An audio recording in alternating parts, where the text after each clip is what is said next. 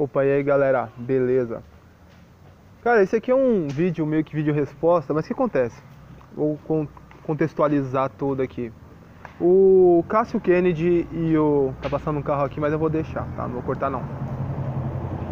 O Cássio Kennedy e o Odinilson fizeram um hangout de mais de uma hora, quase duas horas, pra falar sobre mim, sobre esquerda, direita e tal. Só que, mano, né, é, infelizmente eu não vou conseguir responder tudo em um vídeo só, porque foram muitas coisas ditas.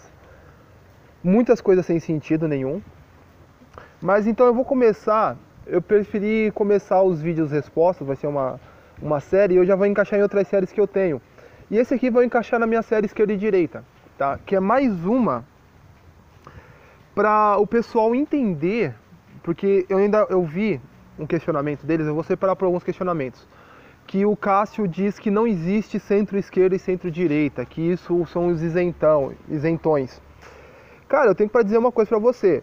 Isso não é achismo, não adianta você achar que não existe, sendo que existe. Isso é um termo acadêmico. Centro-esquerda, centro-direita são termos acadêmicos. Beleza?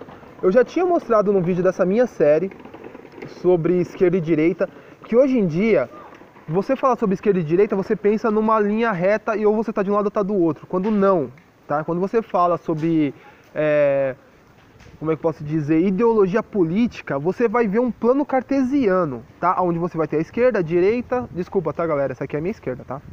Onde você vai ter a esquerda, a direita, é, liberalismo, é, pode ser autoritarismo, pode ser várias outras definições na vertical, beleza? E eu vou deixar aqui bem claro uma coisa, é bem simples esse vídeo, beleza? Que vocês, quando eu disse no meu vídeo que eu fiz um questionamento, onde eu afirmei que o Cássio não sabe o que é esquerda e direita, eu vou incluir agora o Odnilson também, que você não sabe o que é esquerda e direita, beleza? E aqui eu vou deixar duas, três, na verdade, definições de esquerda e direita, que são de filósofos, tipo, renomados, especialistas na área de política, beleza? O primeiro é o que eu mais gosto, que é o do. É, cadê aqui? É Gilles Deleuze, Tá? Ele é um filósofo francês e ele define esquerda, a diferença entre esquerda e direita. Diferença é o que? É do global para o local, beleza? Que é a definição que eu mais gosto. O, a pessoa de esquerda vê o local e depois, desculpa, vê o global e depois o local. Ou a pessoa de direita vê o local para depois o global, beleza? A segunda definição é do é, o italiano Norberto Bobbio, desculpa se a pronúncia estiver, estiver errada, tá? É Norberto Bobbio, que é um cientista político, um dos maiores cientistas políticos do século XX, beleza? Aonde ele define a diferença entre esquerda e direita é da igualdade contra a liberdade, beleza? A esquerda prega a igualdade e a direita prega a liberdade, beleza? Lembrando, um dos maiores cientistas políticos da história do século XX beleza? E o terceiro que eu vou separar aqui é do Roger Scruton, eu acho que é isso, mano, desculpa a minha pronúncia, tá? Mas eu acho que é isso. E esse último aqui, ele é conservador, beleza? Ele é inglês conservador, uma coisa assim, se eu não me engano. E a diferença de esquerda e direita está na igualdade, beleza? A direita afirma que a desigualdade é natural, desculpa, é na desigualdade, eu falei igualdade não, é é na desigualdade, beleza? A direita afirma que a desigualdade é natural e logo tem que ser aceitada, beleza? E a esquerda diz que a desigualdade é social e logo tem que ser combatida.